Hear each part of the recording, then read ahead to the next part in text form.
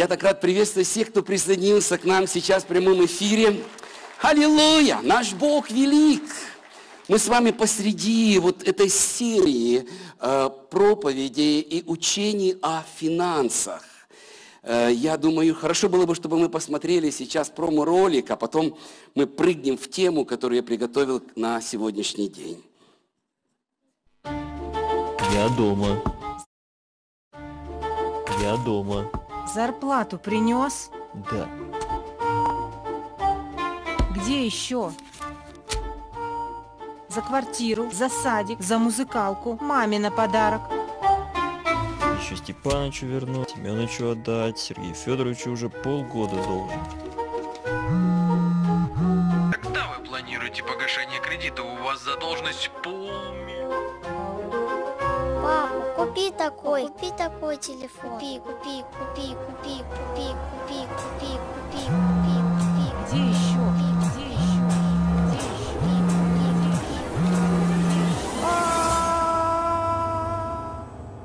щедрый, верный и благословенный. Однажды, когда Господь дает нам мудрость и стремление привести в порядок свои финансы, мы начинаем учиться и учимся избавляться от долгов, инвестировать и покупать то, что приносит доходы, а не расходы. Учимся откладывать, собирать состояние, жить по средствам, а Бог все это время смотрит на наше сердце. Потому что Он хочет воспитать в нас нечто большее, чем просто э, мудрость в управлении финансами. Он хочет увидеть в твоем и моем сердце простое послушание. Вот почему Иисус говорил, что если вы не умолитесь и не будете как дети, дети просто бывают послушны, бывают, должны быть всегда послушны. Дети просто слушаются. И это послушание должно оставаться в нашем сердце на любом этапе нашей жизни. А также Господь смотрит на наше отношение к нуждающимся, к бедным людям, к людям, которые в действительности э, нуждаются в финансовой поддержке, в том, чтобы прийти помочь им. И Он смотрит на такое качество, которое хочет увидеть в каждом из нас. Это качество щедрости – Щедрость, которая вовсе не зависит от того, сколько денег у тебя в кошельке, но очень сильно зависит от того, какое твое сердце, насколько оно открыто. И мы сегодня поговорим о том, э, я немного э, попытаюсь суммировать то, о чем мы говорили раньше, и посмотрим на самую главную тему, на сердцевину, которая есть в Писании, все, что касается финансов. Итак, сейчас некоторые из вас подходили ко мне и говорили, пастор, эти две проповеди меня так придавили, если честно. Я чувствую себя вот во многих вещах, что если бы я знал это там 20 лет назад или, или раньше как-то, моя жизнь была бы по-другому. И сейчас голова опущена. Спасибо Бог. Некоторые говорят, что сегодня пятница, хотя сейчас воскресенье, да, и следующие выходные я могу немного отключиться от этого финансового давления. А завтра, а завтра уже понедельник, и опять деньги, и опять я должен, и опять звонки, и опять коллекторы, и опять все эти счета. Я просто как белка в колесе зарабатываю и оплачиваю счета, и все, вся моя жизнь проходит вокруг этого. Меня ни на что больше не хватает. Друзья, я хочу напомнить вам несколько базовых финансовых принципов, которые необходимо положить в основание для мудрого управления деньгами. Перед тем, как я это сделаю, хочу сказать, что Божья цель, чтобы ты и я, мы не были в хвосте, мы не были как белка в колесе, мы не были задавлены и разрушены, и не работали на то, чтобы просто выплатить наши кредиты и наши проценты. Он хочет, чтобы мы могли иметь свободу от финансового давления и планировать жизнь свою в соответствии с волей Божией. И деньги тогда служили бы нам, были бы инструментом для того, чтобы мы могли исполнять волю Божию. Итак, первый принцип, я просто напомню, это избавиться от долгов. С этого нужно начинать. Это должна быть цель для нас. В Библии написано, богатый господствует над бедным, и должник делается рабом взаимодавства. Другой принцип – составить бюджет и придерживаться его. Здесь нужно научиться э, работать с цифрами, смотреть и понимать, смотреть и считать, э, посчитать, выписать все свои расходы, сколько денег необходимо для того, чтобы я мог прожить или семья моя могла прожить этот месяц, каков минимум, минимум необходим мне, сколько нужно больше, не просто минимум, но сколько нужно, сколько бы я хотел бы иметь в этот месяц. В Библии написано, ибо кто из вас, желая построить башню, не сядет прежде и не вычислит издержек, имеет ли он, что нужно для совершения ее. То есть Иисус учил о том, что, не, что необходимо прежде сесть и посчитать. Сесть, взять лист бумаги и посчитать. Это означает работать с бюджетом. Третий принцип – тратить меньше, чем ты получаешь. Это означает научиться говорить себе «нет». И своим глазам поставить определенные шоры, когда я вижу, что у другого человека есть такой телефон, который я хотел бы иметь, но он стоит очень дорого. Научиться говорить себе «нет». Притча 21.2. «Вожделенные сокровища и тук в доме мудрого, а глупый человек расточает их». Другой перевод современный. «Мудрый бережет, сохраняет, сберегает – нужные ему вещи, а глупый сразу же их использует. То есть это означает, что если ты получил деньги, и ты тратишь сразу же, или очень быстро тратишь, и больше, чем ты получаешь, то ты вот во второй части этого стиха. Это называется глупый. Глупый человек, который не умеет жить по средствам. И четвертый принцип – откладывать сбережения, то есть собрать прежде всего фонд для чрезвычайных ситуаций. И э, после того, когда у нас будут какие-то деньги, которые мы смогли бы использовать в кризисной ситуации, чтобы не влазить в новые долги, не брать новые кредиты, когда мы скопили какую-то небольшую сумму, которая поможет нам, если что-то произойдет непредвиденное. После этого это, этот фонд, эта сумма потом увеличивается, мы добавляем туда. То есть речь идет о том, что нужно научиться откладывать, не все тратить, не все, не все использовать, но работать с финансами так, чтобы инвестировать их, откладывая определенные проценты. А вот теперь внимание, то, о чем я буду говорить сегодня, это принцип, который проходит сквозь все эти четыре базовых принципа, и который идет самым высшим принципом, нулевым основанием просто для всего дальнейшего нашего размышления. И это следующий принцип. Э, это принцип, когда ты Бога ставишь на первое место. Бог вне конкуренции.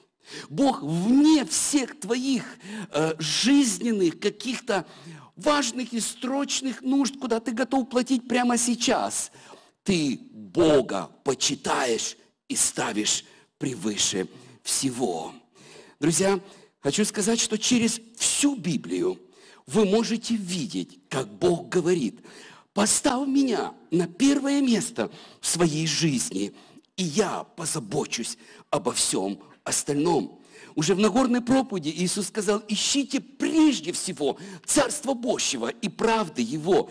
Все остальное, все остальное, все твои счета, все твои долги, все твои нужды, все остальное приложится к вам. То есть это вторично. Поставь Бога на первое место. И я как будто бы слышу, как Бог говорит, вот что я хочу на самом деле, дети мои, я не заинтересован просто, чтобы у вас было достаточно денег, но сквозь деньги я хочу увидеть сердце твое. И в то время, когда их мало и не хватает, и в то время, когда их много и избыток, я хочу видеть, как, как твое сердце, как оно настроено, как ты относишься к финансам. Не только научить тебя распоряжаться, но иметь послушное и жертвенное сердце. Я как будто бы слышу, как Бог говорит, сын мой, если ты поставишь меня на первое место, если ты будешь почитать меня во все сезоны, во все времена твоей жизни, посмотри, как я благословлю тебя, как я благословлю тебя дома, я благословлю тебя в служении, я благословлю тебя в здоровье твоем, я благословлю тебя в детях твоих, я благословлю тебя в транспорте твоем, я благословлю тебя в решениях твоих. Посмотришь, что будет с твоей жизнью, если ты будешь почитать меня. И почитать меня не только словами. Помните, в Библии сказано, этот народ приближается ко мне только словами своими. Так Бог говорит через Исаию. Они говорят, я, я люблю тебя, Господь, я люблю тебя, Господь. А по факту Бог говорит, сердце их далеко от меня. А вот еще один текст, Иисус говорит, ибо где сокровище ваше, там сердце ваше. То есть, если я говорю, Иисус, я люблю тебя всем своим сердцем, я люблю тебя, так как первая заповедь говорит, я люблю тебя всем сердцем, всей душой, всей крепостью, всем разумением. А он посмотрит, он Бог, он посмотрит и скажет, а где твои деньги? Я скажу, ну, у меня денег не хватает, ты же знаешь, я не так много получаю, у меня всегда денег не хватает, денег мне дай больше, зарплату мне дай больше, а мне еще то хочется купить, и то мне надо, и то, и то, и дети у меня, и внуки меня там, и то у меня, и, и то у меня, денег-то у меня нету. Я люблю тебя, Иисус, я люблю тебя всем сердцем. Он скажет, этот народ приближается ко мне устами своими, сердце же их далеко от меня. Где сокровище? Там и сердце.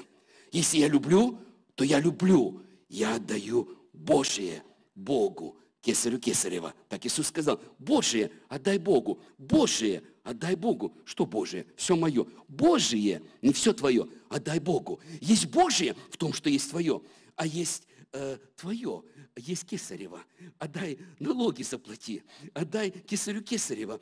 А Божие, прежде всего, Божие, прежде всего, отдай Богу. И если ты это сделаешь, я увидишь, как благословлю тебя. Я живой пример этому. Друзья, э, еще в юности я начал чтить Бога от имени своего. Я начал жертвовать Господу. Надюшка моя тоже, когда мы поженились, это никогда не был вопрос у нас. Никогда. Сквозь самые трудные времена, сквозь самые сложные времена мы проходили. Но мы всегда Божие отделяли Богу, отдавали Богу. Сквозь лучшие времена, сквозь разные времена. И Бог удивительным образом благословил нашу судьбу и нашу жизнь. И это не только материально. Материально это правда инструмент. Это, это обилие мира, радости, единство с женой, Царство Божие на земле. Наслаждение, когда я смотрю на детей – и дети служат Господу. И дети вместе со мной проповедь готовят. И они говорят, папа, папа, а вот это скажи, а вот это, папа, ты тут перегрузишь, папа, а вот это. То есть это же такая радость, это такой кайф.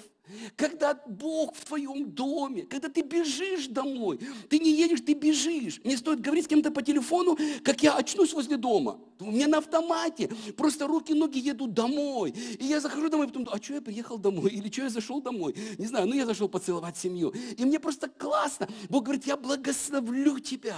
Ты будешь благословен. Избыток, благословения и мира, и любви, и счастья будет в твоей жизни, если ты будешь чтить Господа. Друзья, я предложу вам текст, который знаком для нас всех. Но я хотел бы еще раз, э, чтобы мы посмотрели на этот текст. Здесь написано, принесите все десятины, Малахия 3.10, в дом хранилища, чтобы в доме моем была пища.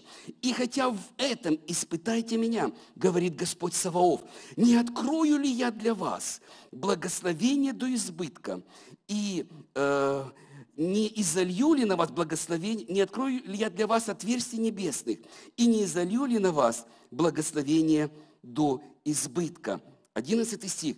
«Я для вас запрещу пожирающим истреблять у вас плоды земные, и виноградная лоза на поле у вас не лишится плодов своих, говорит Господь Саваоф. Две вещи Бог говорит. Если ты будешь послушен мне в десятине и в приношениях, то я прежде всего, я открою для тебя окна небесные и изолью благословение через эти окна. И второе, я запрещу дьяволу, я залатаю все дыры в твоем кошельке, и твоя виноградная лоза, и там, где ты хочешь получить прибыль, ты получишь ее, тебя не обманут, ничего не произойдет, у тебя будет доход, у тебя будет достаток. Я благословлю тебя, потому что я запрещу тому, кто пожирает, пожирающему дьяволу, и он не прикоснется к твоим финансам, и он не прикоснется к твоему дому и к твоей семье. Это Библия, это то, что сказал Господь. Я хочу, чтобы мы немного остановились, и хочу э, обратить ваше внимание, что сквозь все Писание есть один принцип, который вы можете видеть, начиная с первых страниц Библии и заканчивая последними. Если ты увидишь это, и если ты применишь это к своей жизни, Бог благословит тебя действительно, и ты нашел ключ к тому, чтобы жить правильной жизнью, жизнью благословения. И я хочу показать это. Это принцип перворожденного, первородного. Это принцип первого плода – Книга Исход, 13 глава. Вы можете прочесть там, там прямо с первого стиха. Я просто хотя бы выборочно пару стихов дам вам. Всякий первенец, мальчик, это современный перевод первого стиха, или э, точнее второго стиха. Всякий первенец, мальчик, рожденный израильтянкой, будет принадлежать мне. Всякий первенец от человека до скота будет моим. Всякий первенец – будет принадлежать мне. Смотрите, а э, значит, э, в другом месте прямо э, такие слова есть, или в синодальном переводе «мои они». Я вот прочту этот же стих. «Освети мне каждого первенца», то есть отдели, разрезающего всякие ложи сна перед сынами Израилевыми, от человека до скота, двоеточие, «мои они», «мои они». Евреи эти два слова понимают лучше, чем мы с вами. Когда еврей говорит, это мое, то он говорит, это мое. Он понимает это. Это мое. Самые сильные два слова использовал Бог. Подождите, о чем я говорю? Я говорю о том, что если у меня и, Наденьки родился бы первый мальчик, то есть то, что бы мы сделали? По этому закону, если бы мы жили 4000 лет назад, мы должны были бы его отдать Господу на служение Богу. Мы должны были бы не претендовать на него. Мы должны были бы сказать, когда ты вырастешь, тебе будет 18 лет, ты пойдешь в храм, и ты будешь служить Богу, а Бог благословит и даст нам второго мальчика, и третьего, и пятого, и девочек даст нам, и благословит нас дальше.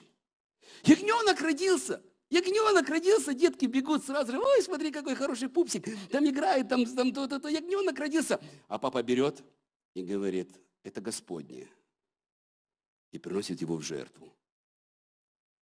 И ребенок не может понять, а зачем, пап? Он такой хороший. А Господь сказал, это его. Это его. Друзья, мои они эту фразу, ибо они Господни, Бог раскидал по всей Библии. Ты по всей Библии можешь видеть, как Бог претендует и говорит, это мое, это мое, это мое. Ты говоришь, что за мое? Все мое, жизнь моя, свобода моя. Что хочу, то делаю, время мое. И я принимаю все решения. Да-да-да, ты, ты, ты так думаешь. Бог дал тебе право так думать. Бог дал тебе свободу. Но в этой свободе есть Его. Вернемся к Малахии. В Малахии написано так. Принесите все десятины. Слово «принесите» отличается от слова «пожертвуйте». Один молодой человек говорит другому, слушай, ну все, я э, с, с этого месяца буду отдавать Господу десятины, буду жертвовать.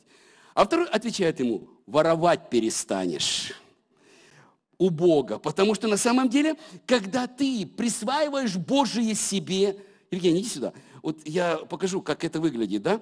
Э, когда ты присваиваешь Божие себе, то на самом деле это воровство у Бога. Но оно сразу как бы никакого наказания нет, ничего, просто у тебя небеса не открываются. Представьте себе, я уехал в командировку, а моя прекрасная половинка дома. И я сказал, я э, отправлю тебе там денежку. И я посмотрел, что я могу, ну, что ей нужно тысяча рублей в месяц. Ну, немного, на семечки, я знаю на что. Или на рыбку. То есть на семечки. Я живу с ней 33 года, и я знаю. И я обращаюсь к пастору Евгению, к моему другу, говорю, слушай, я тебе перекину здесь 10 тысяч рублей. 10 тысяч рублей. Я тебе перекину, возьмешь. Но э, на самом деле тысячу отдай Наденьке. Вообще, это деньги, это ее деньги. Э, а 9 тебе. 9 тебе. Отдашь тысячу Надежде? Не зажмешь? Тысячу, да. Отдашь? Тысячу ей, А 9 тебе. а девять мне. Да. Это на один месяц, да? А ты хотел, чтобы я дольше был в командировке, да? Два-три? Все понятно. Когда два-три месяца, то есть можно повторить, да?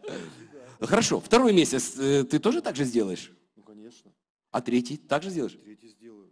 А представьте себе, а что было бы, если я потом приезжаю с командировки через три месяца и говорю, Надюшка, ну как тебе семечки вкусненькие было, были? Она говорит, слушай, ну первый месяц было тысяча рублей, от тебя пришла, ты такой умничка. А второй месяц э, 800 пришло, а третий 500 пришло. Я говорю, слушай, а как это ты так сделал, скажи мне? Это мое вообще, это мое, понимаешь, это мое. Все, я тебе дал 9 частей. Пастырь, трудно было. Ну, ну, трудно было, понимаешь? Ну, ну, не сходилось у меня. Ну, прости за все. прощаю за все, но окна закрыты небесные, и благословение не исходит. Я не законник в этом, друзья, я не законник, я не такой, что «О, если ты абсолютно, ты все, все, все, все, все. Я, но я читаю Библию, и в Библии написано, спасибо, давайте дадим благодарность пастору Евгению. Спасибо, что хоть тысячу передал, и то уже хорошо. Легче домой, когда приезжаю. Семечки поест моя жена, и все классно. А, смотрите, мысль какова. Если мы покушаемся на Божие, покушаемся, у нас всегда вот аргументы. Ну, совсем не сходилось, как пастор говорит Евгений. Ну, не сходилось совсем. Ну, ну, ну, трудно было. Ну, то есть, ну, ты же поймешь, ну, что тебе там тысяча там, рублей. Мне вот сейчас как раз вот прямо нужна, и все. Если мы таким образом ведем себя, друзья, Бог не будет доверять нам. Бог будет воспитывать в нас прежде всего послушание. Когда речь идет о десятине, тогда речь идет о послушании Богу. Он говорит, отдай, не отдай, а принеси. То есть это не твое, это Божие. Я немного хочу отойти в сторону и сказать, есть два образа мышления. Одно из них – это я э, э, человек-собственник, есть другое слово, я э, владелец, владелец, по-моему, такое слово. Тут недавно я был в клубе владельцев бизнеса, меня пригласили, и само слово владельцы, владельцы, и там культивировалось это понятие, вы владельцы. Я говорю, я не бизнесмен, абсолютно. Ну, вы владелец? Я говорю, я не владелец, мой господин владелец, я управитель. Они не понимают даже этого. Они говорят, ну, церковь это же бизнес. Я говорю, какой бизнес? Ни Белкин дом, ни бизнес. Никакого бизнеса здесь вообще нету. Здесь есть просто Слово Божие, здесь есть просто э, община, и все. Э, я не владелец. И я потом ехал обратно, и я думал, как это глубоко сидит в нас. Я хочу быть владельцем, это мое. Я хочу быть владельцем. А сколько ты дашь мне? Это моя квартира, это мой дом. Мы с Наденькой 13 лет живем в своей собственной квартире. Хотя мы жили в Риге первый год, когда мы поженились. Но потом мы отдали, благословили ее. То есть и спустя годы мы только 13 лет живем в своей квартире. Моей жене было 50 лет, когда она вошла в свою квартиру. И я каждый раз возвращаясь в свою квартиру, у меня нет никаких чувств того, это мое, это мое, это мое. Наша квартира служит Господу с утра до ночи. Там часто новые люди, которых я могу встретить, прохожу, говорю, мир вам, то есть очень рад, как вас зовут, и такие моменты бывают. То есть, но, но, но у меня это чувство, я здесь управитель, мне надо следить за тем, чтобы все было в порядке. Я здесь Бог смотрит на мое сердце, и я управляю. И там есть библиотекст. Имеющий, как не имеющий. И вот это состояние, когда ты не относишься ни к деньгам, ни к жизни даже своей, потому что Иаков говорит, жизнь твоя и моя – это пар, являющийся на малое время. Ты относишься к этому как к дару от Бога, подарок от Бога. Бог дал мне жизнь, дал мне разум, дал мне руки, дал мне ноги. Сколько людей в больнице, сколько людей, у них нету рассудка, сколько людей погибает каждый день, сколько различных случаев. А Бог дал мне, я живу на этой земле, я должен правильно управить всем, что есть у меня, и временем, и ресурсами, и деньгами. Так вот проблема многих людей, что мы хотим быть владельцами всего. Это мое. А Бог говорит, я даю тебе способность зарабатывать деньги. Но в, эти- в этих доходах 10% мои.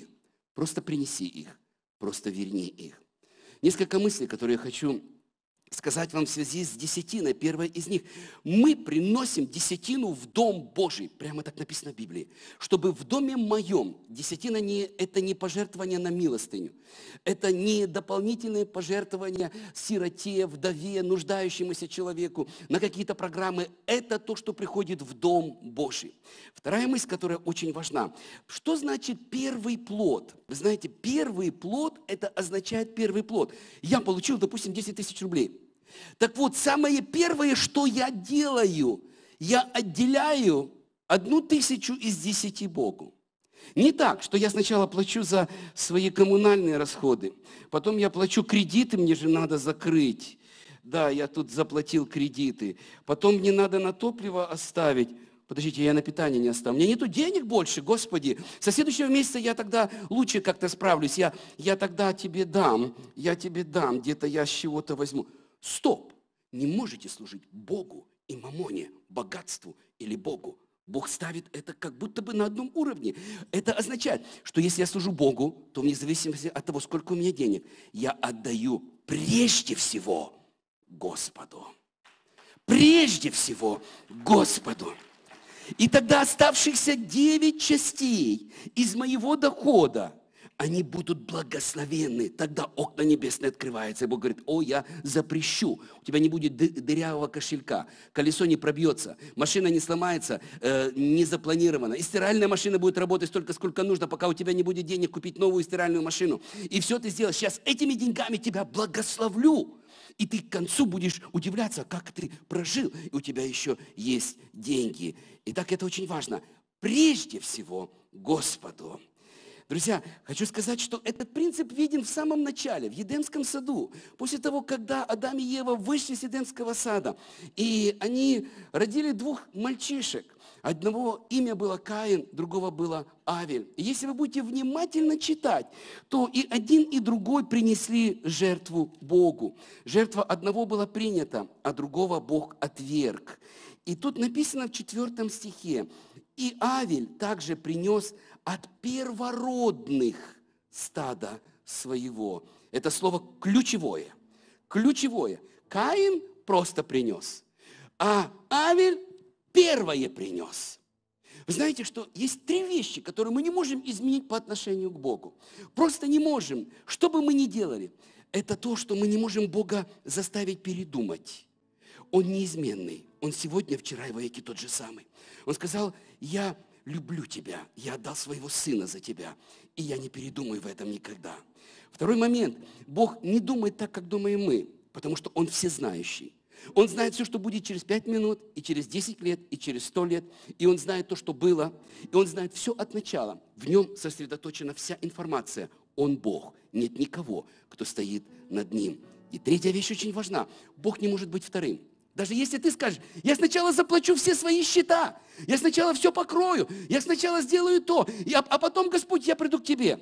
Бог не, от этого не меняется Бог. Бог все равно будет стучать в твое сердце. Но ты лишаешь себя благословения. Ты проживаешь жизнь, как белка в колесе, дальше крутишься. Думаешь, что вот это закроешь, эту дыру закроешь, тебе будет легче. А Бог говорит, остановись. Прежде всего, почти меня. Прежде всего, отдай мне мое, перестань воровать у меня. Это, это то, что касается десятины. Но я не законник в этом плане, в плане того, что ты, обяза, ты, ты, ты обязан отдать. Но в Новом Завете тоже есть десятина. И в Новом Завете есть текст, который мне очень сильно нравится. Это текст, который апостол Павел говорит, доброохотно дающего любит Бог. То есть и здесь Бог предлагает.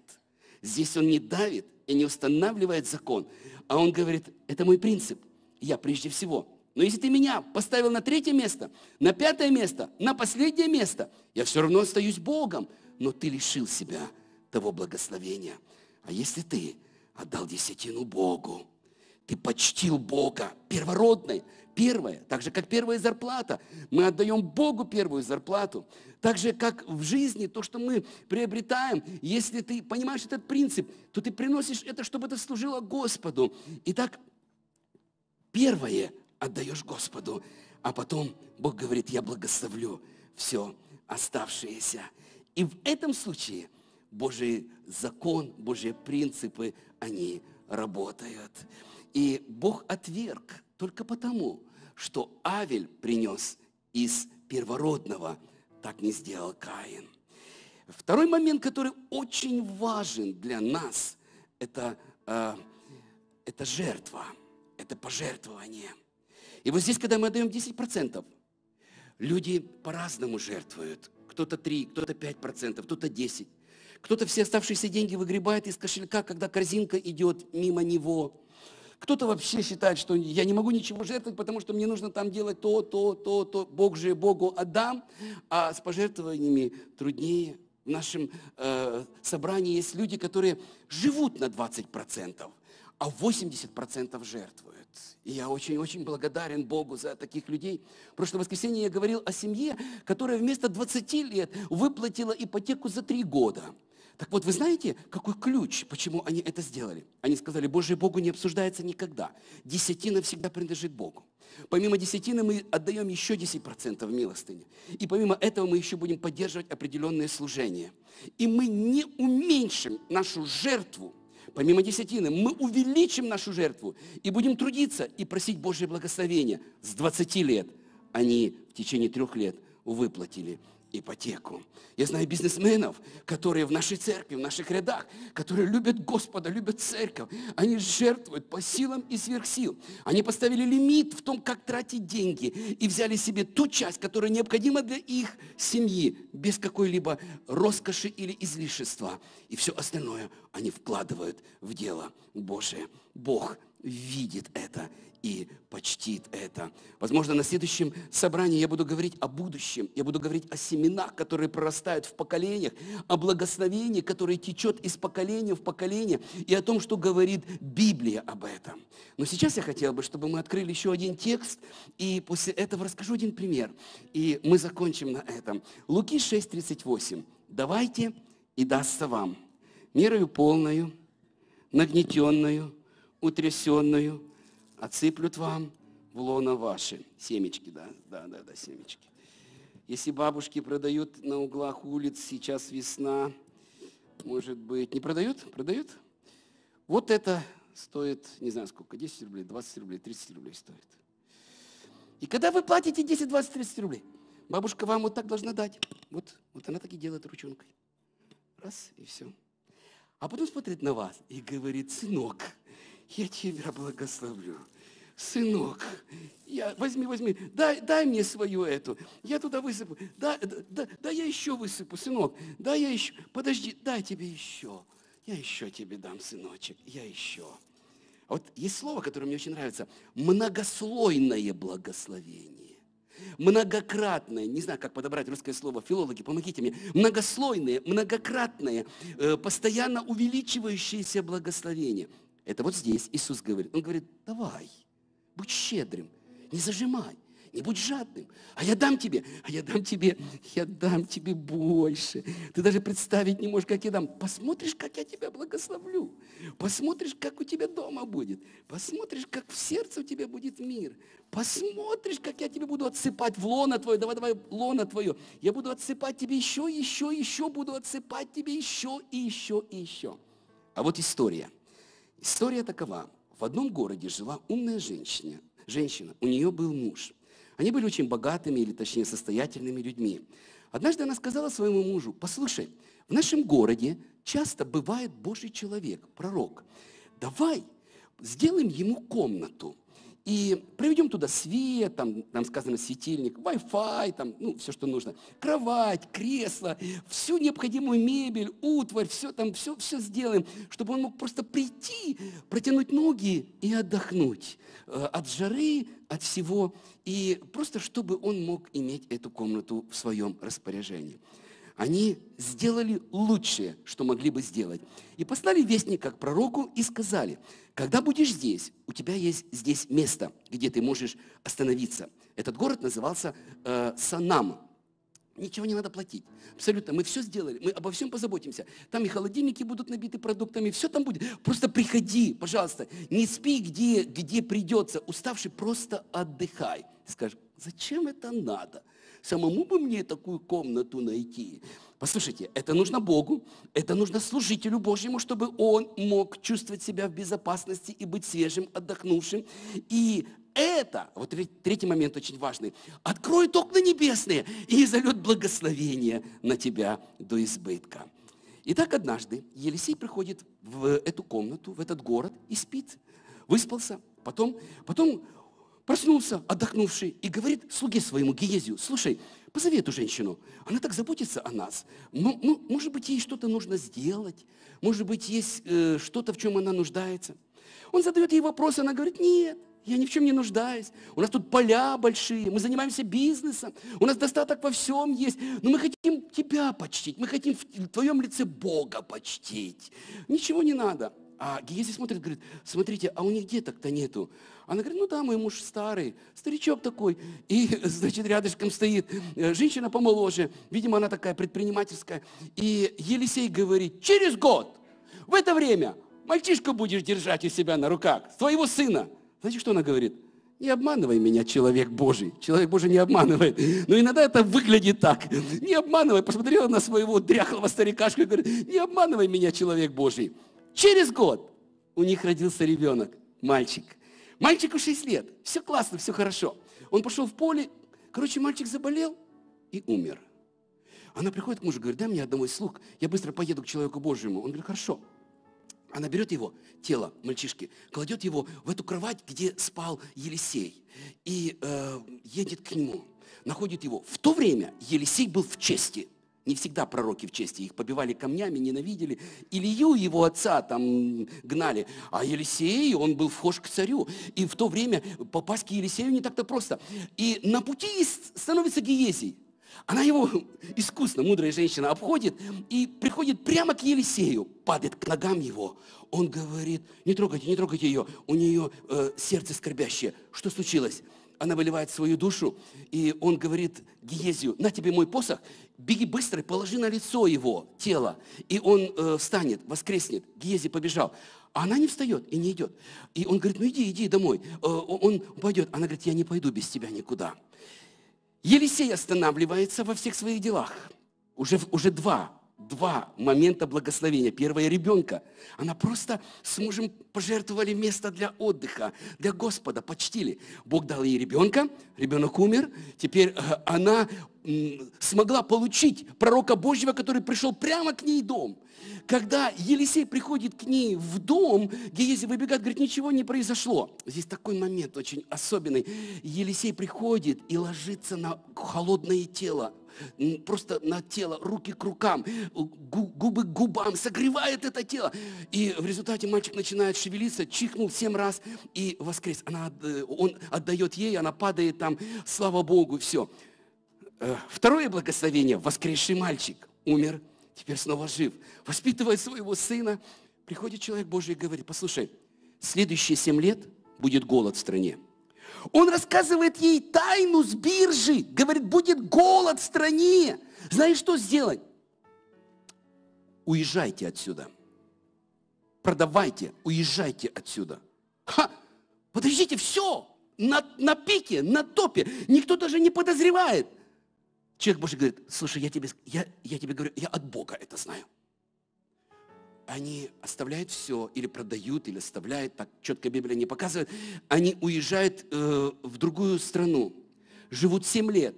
Люди пухнут от голода в Израиле, умирают без, без хлеба.